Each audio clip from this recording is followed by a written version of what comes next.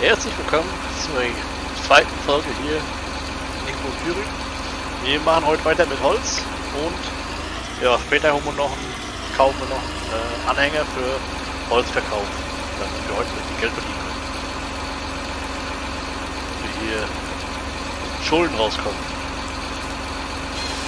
Ja, äh, ein bisschen Kreditrahmen habe ich auch noch. Aber kostet wohl Zinsen, aufpassen. Nicht alles für die Banken. Genau. Ich habe hier schöne gerade Bäume. Gut für Streichhölzer. Für Riesen. Ist bei dir auch Regen? Ja, sogar Gewitter. Also, Also- was, was sagt die Wettervorhersage? Oh, oh, ja. Also heute Regen. Dienstag mal Sonne, dann kommt wieder Regen. Ich habe gar nicht Season eingestellt. Also Season aktuell bei neun Tage. Willst du auf sechs Tage ändern oder neun Tage bleiben? Mir ist egal. Also, Bleiben wir, bleiben wir neun neun, Tage. bei neun Tage, ja. Also Schneespur sind an, Schneemodus auch und Temperatur ist in Celsius. Wunderbar. Meine Kühe haben schon Wasser vom Regen. Ich hab noch nicht einmal Tiere. Na, ich auch nicht, ja, Wasser kommt von Regen.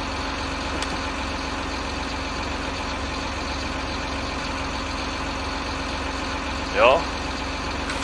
Gut machen, weiter.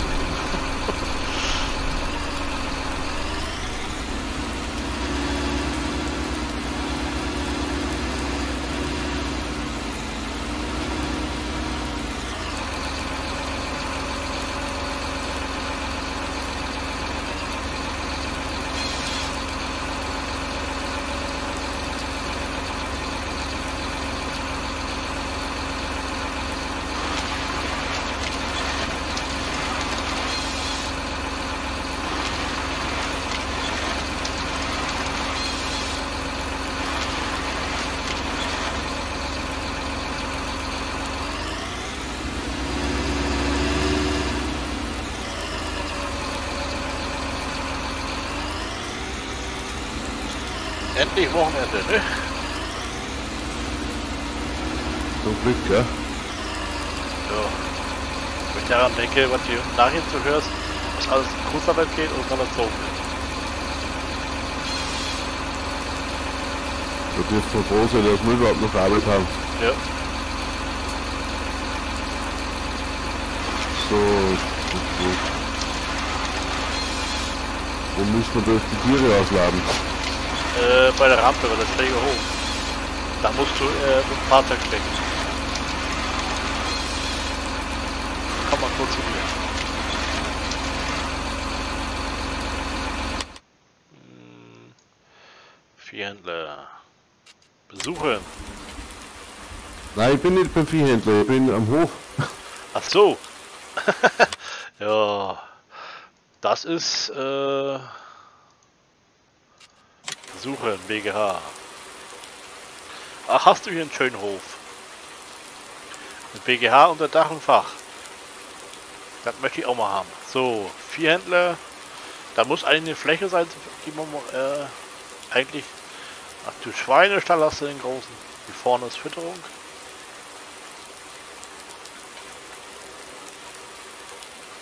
Muss eigentlich so ein Zaun sein zu, zu Weide normalerweise. Oder im Stall.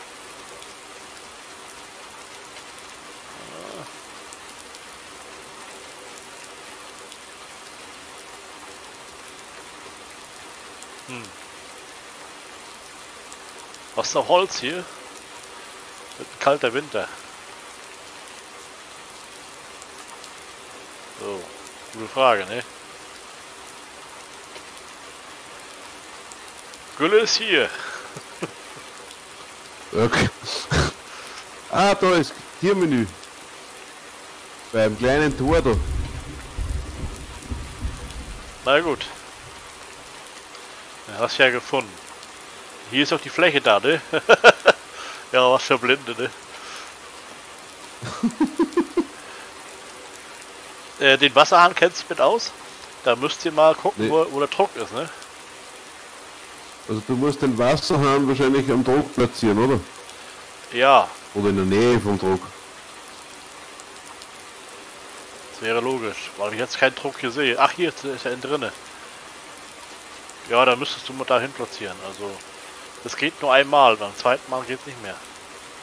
Uh,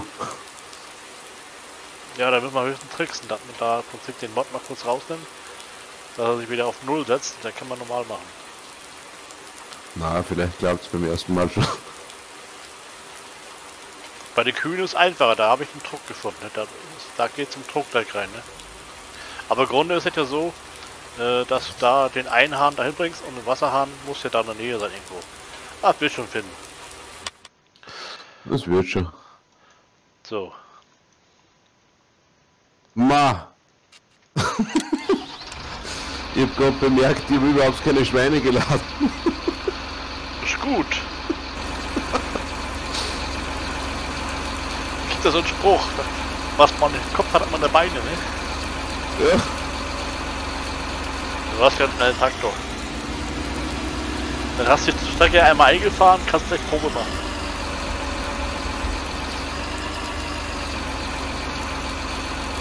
Aber das schön, dass Coreplay bei Multiplayer jetzt auch geht. Ist gut.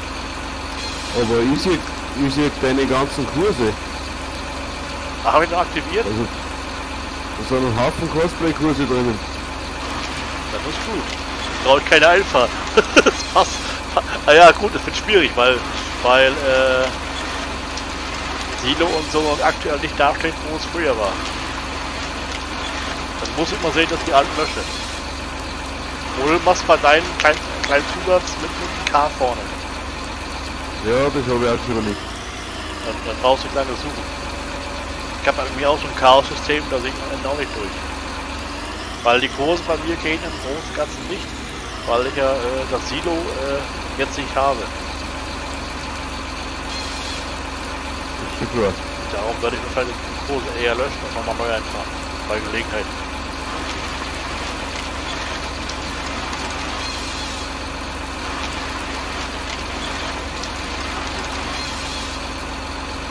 Ich habe nämlich die Schweine also aufgeladen, aber dann nicht bestätigt, glaube ich. Ja, dann, dann, ist, dann ist dann logisch dabei. Aber gut, das ist mir auch öfter passiert. Äh, bei bei, äh, bei Season musst du aufpassen, vor, vor allen Dingen nachts, wenn wir auf, auf 30 spielen würden, ne? dass du dann da Bescheid Mhm. sagst, dass wir da keine Tiere gerade zu der Zeit verkaufst. Dann kann es sein, dass die Tiere am Hänger verhungern ne? und sterben.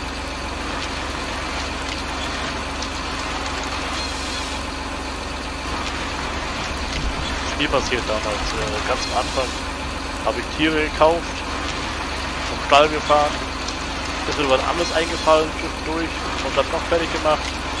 Und dann habe ich mir nächsten Tag in der Meldung gesehen, Tiere gestorben. Da waren die im Hänger drinnen. Genau.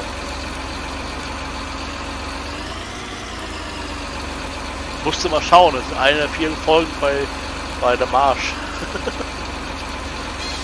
Sind nur, äh, keine Ahnung, 700 Folgen oder so. Bist eine Weile beschäftigt. Ja, Aber das ist erst später gewesen, wo die Season anfing. Also zu vierfach. Am Anfang habe ich mit der Einfach angefangen und dann eher später mit der vierfach. Ja, da war einfach auch so ein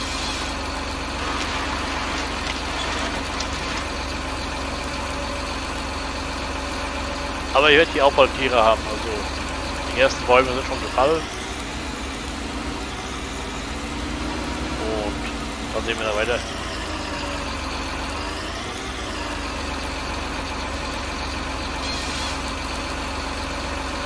Ich habe viel Holz hier im Wald. Aber Schweine nicht blöd, die brauchst du das Futter kaufen, kippst du ab und der Rest machen die Leine, ne? Das geht am Anfang ziemlich bequem, ja. Wenn die Schweine dann noch mal im Hof sind, dann werde ich auch ein bisschen Holz machen. Ja klar.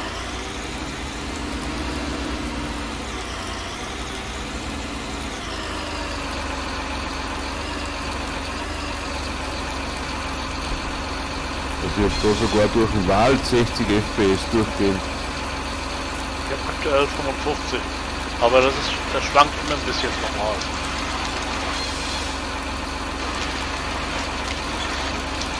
Meine Grafik hat es auch aktuell auf 70 Grad.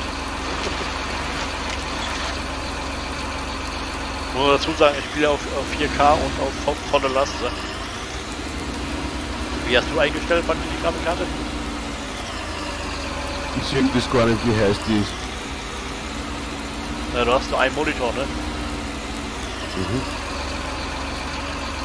Ich sag mal so als Faustregel, wenn der Lüfter gut läuft, dann ist es warm. Ja, es ist jetzt ziemlich warm. Äh. Ja, äh, ich sag mal so, ich habe schon mal äh, bei mir umgeräumt, habe das äh, Fenster freigeräumt, wenn es jetzt zu warm wird, dass man aufmachen kann. Ich hatte ja vorher im Prinzip, wenn du mal irgendwann zu Besuch kommst, die ganze Chose mehr nach rechts gehabt, dass ich mit Mühe und Not am Fenster angekommen bin, auf Kipp. Nun kann ich äh, im Prinzip äh, fast aufmachen. Da kommt kein mehr Luft ran. Kann ich Ventilator reinstellen ins Fenster und dann Luft reinpusten lassen. Äh, hier drin ist ziemlich warm. Über dem Monitor sind es aktuell 25 Grad. Also das Wochenende klauen wir eine Stunde, ne? Ah, Zeitung steht dann wieder. Ja, ja. Bis Sonntag wieder voll am Arsch. Ich glaube, das wird abgeschafft von so einem. Nun ist ja die von Leyen äh, an, der an der Regierung. Der Juncker ist ja nicht mehr da.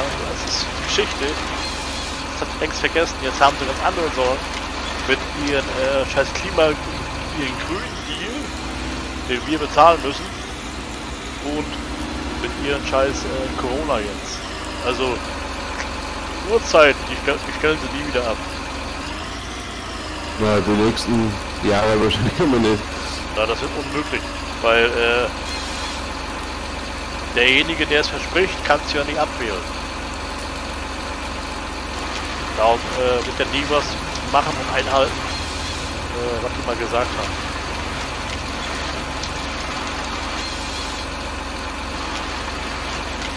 Pfeife in der Kommune kannst du am Hals gehen, an, an den Gurgel, zur Not. Der Brüssel ist weit weg.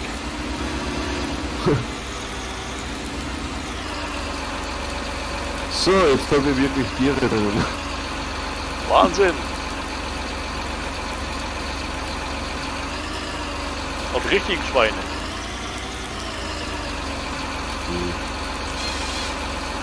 Yorkshire. Ist ja egal. Hauptsache, Hauptsache Schweine.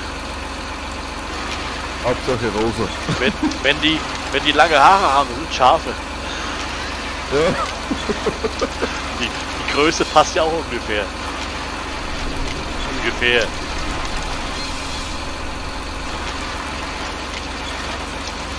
Ich hab mal äh, zu Hause, der Nachbar hatte sich mal so einen Schafbock gehabt. Äh, vom Zoo hat er sich mal gekauft. War mehr Inzucht als, als reine Schaf. Äh, jedenfalls, äh, Schafbock ist ja eigentlich ag aggressiv. Sobald ich in der Nähe war, hat er den Kopf gesenkt und wollte mir stoßen. Aber ich wusste ja, wie lang die Kette war und konnte mir entsprechend hinstellen. Er nahm mir voll Anlauf, voll Anlauf und dem Augenblick, wo er mich erreichen wollte, war die Kette zu Ende. Hat er sich überschlagen. Naja, nicht nur einmal, sondern dauernd. Also der hat äh, kein gutes Gedächtnis gehabt. Ja, das war kein, das war kein, äh, kein großes Schaf. Das war eher so ein, kleines, den auch mal zur Not äh, an die Hörner packen konntest und entsprechend äh, hochheben konntest. Also war er im keine Kraft hatte, weil er zu klein war. Aber jedenfalls, äh, sag mal so ein dusseliges Vieh.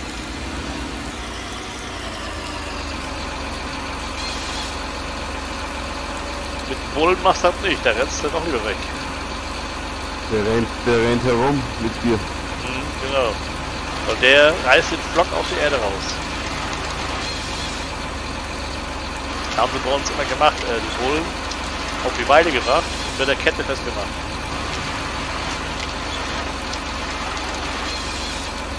Gut, die meisten Tiere waren zahm, das war eine Frage. Wenn man aggressiv dabei hatte, das war schon mal gefährlich.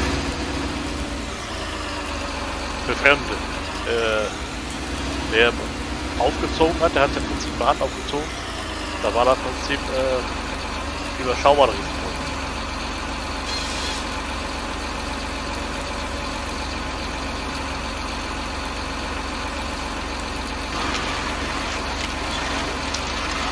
Ja, so ein Tier hat Kraft. Wenn er mal die Hörner hebt,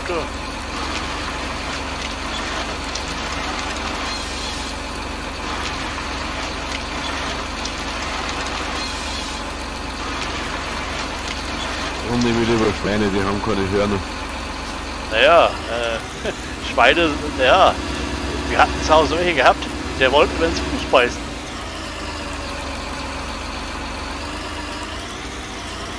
Ja, aber Also- die können nur ein bisschen zwicken, oder? So richtig beißen. Oh, oh, oh, unterschätzt die Schweine nicht, du. Wenn du so ein ausgewachsenes Schwein hast, dann, dann ist schon Kraft. Kann dir schon wehtun. Umbringen zwar nicht, aber halt, äh, so 100 Kilo, die äh, umlaufen, ist das schon heftig, ne? Naja gut, die, die normalen Saugen haben ja keine Eckzähne, ne? Aber Eber hat ja meistens nur die Zähne, ne? Ausgewachsene Kreuz. Das macht den Wind gefährlich. Aber ich habe keine, bei uns keine gesehen. Wir hatten meistens, äh, ich glaube, weibliche Tiere und äh, Eckzähne wachsen, glaube ich, ein später, glaube ich. Keine Ahnung. Weil die wurden ja eigentlich kastriert, die, die, die Schweine. Als Ferkel. Schon kurz nach der Geburt, dann wurden die Eier weggenommen. Ohne alles. Wir hatten mal ein Schwein gehabt, dann haben wir das vergessen gehabt übersehen. Und da wurden wir ja später äh, zur Betäubung äh, entmannt, kann man sagen. Weil Schwein mit, äh, mit Eiern kann man sagen, das Fleisch soll nicht schmecken, das soll irgendwie anders schmecken. Ungenießbar. Vom Geschmack her.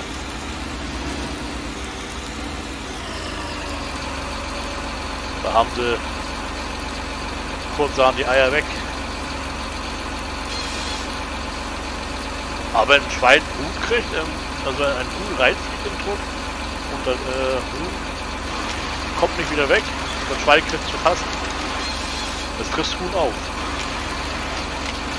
Das Schwein frisst ja alles.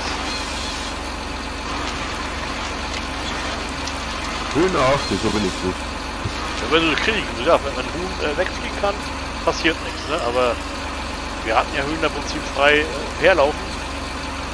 Hühner sind ja immer auch ein bisschen äh, nach Futter her und so, ne? Und fliegen überall hin oder flüchten und können nicht lange fliegen. Äh, dann, wenn sie zufälligerweise in eine Bucht reinfliegen, dann müssen sie sich beeilen und wieder rauskommen, ne? Dort schnappen die uns zu. Ich weiß, bei uns im Dorf hat noch eine oder andere, wenn er Jungkatzen hatten, auch da entsprechend äh, Anführungszeichen entsorgt. Ne?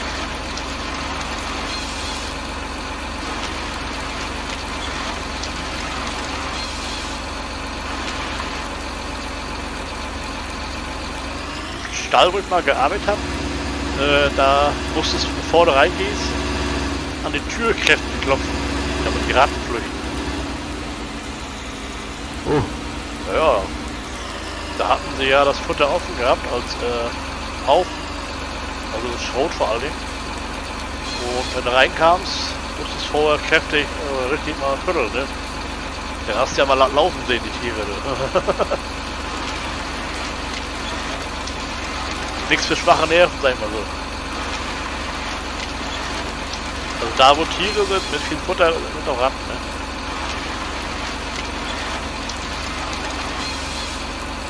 Da sind die Ratten so schlau. So, liebe Schauer, wir haben fast wieder die Runde überzogen. Mal ganz kurz verabschieden. Tschüss, Winke, Winke. Schönen Dank.